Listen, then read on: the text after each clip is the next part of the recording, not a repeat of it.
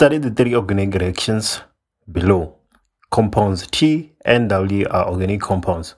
R and S are inorganic substances. Consider only the major products. Okay.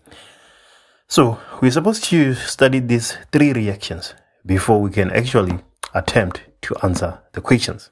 So let's take a look and see what is happening. So we have HBr plus T, which gives us W. There's nothing we can really unlock here with that information. Let's take a look at reaction 2. Reaction 2, we have W, which reacts with NaOH to give us this compound that we have, which seems to be an alcohol. So already we can make sense of what is happening. We can determine T and potentially W. So let's take a look. So HBr, that is uh, a HBr is what we're adding to T, right? And then the product is W. And then when we add NaOH to W, of which what is happening here is a substitute, is a substitution reaction. We get CH3, CHOH, CH2, CH3, so on and so on. Because we know that W is saturated, right? Uh, it will be a haloalkane W, it seems. So if W is a haloalkane and we add NOH, then reaction 2 is actually a substitution reaction. Okay, so W, can we write the formula for W? I think we can. Uh, w should be CH3, right? And then we have Br, and then there we go, the other two carbons. That makes sense to be W because we're going to replace Br with the OH, hence the product here. Right, let's carry on and deduce more things. So reaction 3, we have the product of reaction 2, some inorganic reactant S, and then we have H2O. So we've removed H2O in the reaction 3. So it means that T should be an alkene and then reaction 3 should be dehydration because one of the uh, the other product is H2O. So T is something like this. So one, two, three, one, two, three, four, one, two, three, four. So this is T. This is T. This has to be T. Right. But T is the same thing that we had in reaction 1. So we have W and then we have T. Um, what is S? S is H2SO4, right? It's what we use when we want to uh, dehydrate. And then R in that situation would be so W in W we have BR and then so it means R is NABR NABR because we added the OH there from NA from NaOH okay um yeah that seems that seems good so 4.1.1 the IUPAC name of uh, W so W is 2 bromo butane okay and then 4.1.2, name or formula of R, Na uh, BR. Okay. 4.1.3, two names of the type of reaction in reaction 1. So in reaction 1, we have an addition reaction. Uh, because T is an alkene and all reactions that start with an alkene are addition reactions. But to be specific, is a hydro halogenation.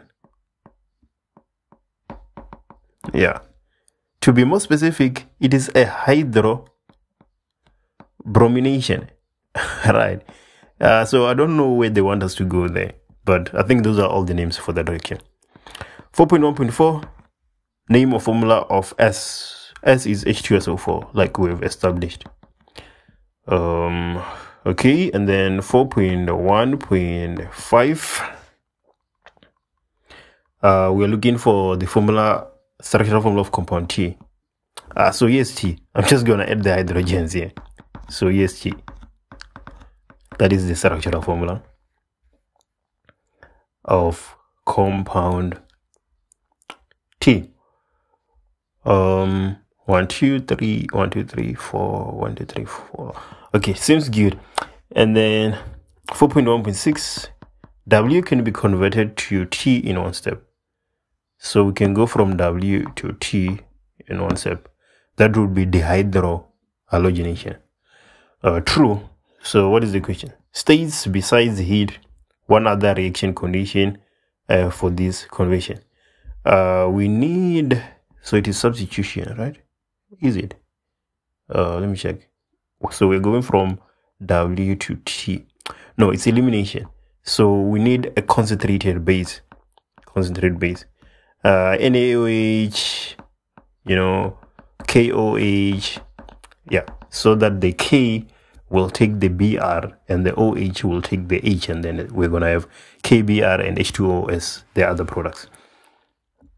Uh, that is 4.1.6. Okay. And then 4.2. Uh, what is it been? Mm, 4.1.6. We have concentrated base. Uh, okay, that is good. And then 4.2, a compound with the formula C10H22 undergoes a cracking reaction according to the equation. The mixture of the two compounds is bubbled in bromine water in a darkened room. Define the term cracking. I'll let you do that. 4.2.2 state one change beside a change in temperature that will be observed when the mixture is bubbled in BR2. Uh, the decolorization, right? Decolorization. Uh, I'm not sure. Yeah, it will decolorize. Yeah, because uh, I think bromine water is greenish in color. So when it reacts with an alkene, of which 2x has to be, uh, there will be a de- de- decolorization. Uh, it's a basic question. If you've done a lot of past exam questions, you should have gotten that question right. Uh, I've solved similar questions in the channel, obviously. Uh, 4.2.3, write down the structural formula compound X. So let's determine what X is.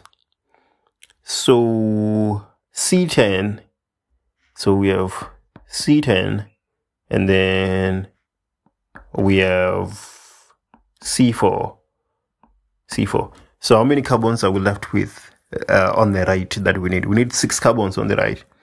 So because we have the coefficient of 2 there, it means that this would be C3. So that uh, 6 carbons plus 4 carbons gives us 10. And then we have H10 there, and then we have H here. And then on the other side, we have H22.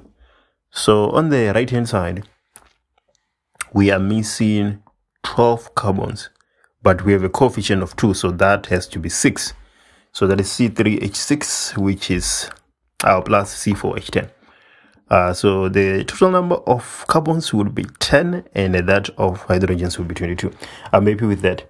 So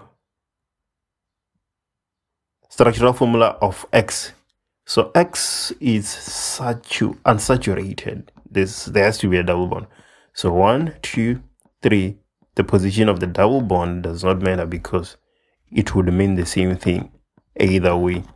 So that's what we have. And then one, two, three, four, one, two. So let me check. This is one, two, three, four, five, six. One, two, three, four. One, two, three, four. One, two, uh, three, four. Okay, happy with that structure of X. Um, and then 4.2.4 which compound X or C4H10 reacts faster with Br2? Explain the answer. This is the last question. So you know how we roll. You guys have to tell me the answer in the comment section. What is your answer to 4.2.4? Is it X or is it C4H10 that reacts faster with Br2? Why do you say so? Let me know in the comments.